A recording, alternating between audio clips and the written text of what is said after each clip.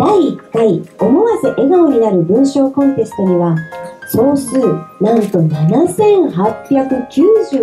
の作品をご応募いただきました。自然と、まあ、笑顔が出るだけじゃなくて心がですね温まる、まあ、そういうような作品集だったなというふうに思っています。近藤真中殿以下同文です。おめでとうございます大手門学院大手前中学校2年生近藤真中さん母の笑顔。私は耳が聞こえない。私の耳が聞こえなくなったのは生まれた時からだ。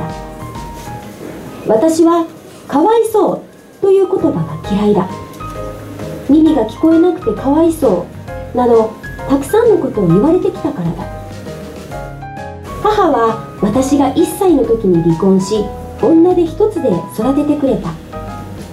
誰よりも一番に感謝の言葉を伝えなければいけないはずの母に一度もありがとうという気持ちを伝えることができていませんでした。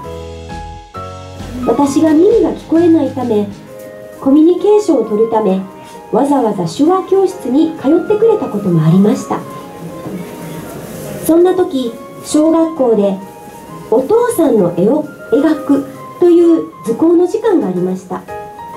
いろんな友達にバカにされたのを覚えています。とても悔しくて何も言い返せない自分にとても腹が立ちました。そんな時でも母は笑顔で私を抱きしめてくれました。あの安心感は今でも忘れません。母が一番しんどいのにいつも笑顔な母が私は大好きです。